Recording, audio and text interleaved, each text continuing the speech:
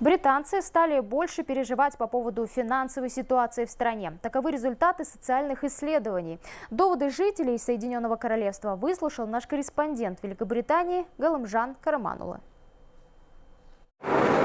Считается, что британцы не склонны проявлять эмоции на публике. Наверное, поэтому и сложился стереотип холодных и закрытых англичан. Но последние события полностью поменяли эти представления. Потребительские цены стали предметом недовольства большинства жителей Туманного Альбиона. И они это не скрывают. Ежемесячный опрос исследовательского центра банка Ллойдс показал, что в прошлом месяце 65% респондентов волновались по поводу инфляции. Это самый высокий показатель с января 2014 года, говорят эксперты. Инфляция в июле составила 2,6% при прогнозируемых 3%.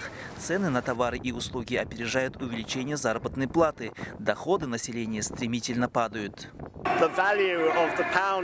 Фунт обесценивается, продукты питания теперь стали дороже. Люди стали есть меньше, меньше выходить из дома. Качество жизни людей ухудшилось по сравнению прошлых 10 лет.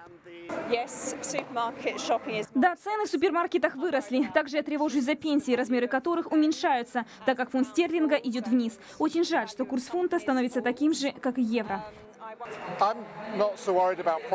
Я не очень переживаю по поводу цен в магазинах. Путешествие в зарубеж становится непозволительной роскошью, например, в такие страны, как Казахстан.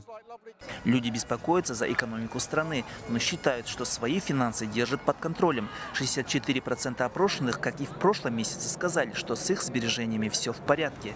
80% британцев проявили уверенность, что могут найти себе новую работу. Их позитивное мышление не может не радовать, но исследование показывает, что люди сокращают расходы на аренду, ипотеку, коммунальные платежи, еду и топливо. Инфляционные риски делают британцев более уязвимыми и менее способными адаптироваться к новым финансовым стрессам, считают аналитики. Галмжан Хараманло, Великобритания, специально для Хабар 24.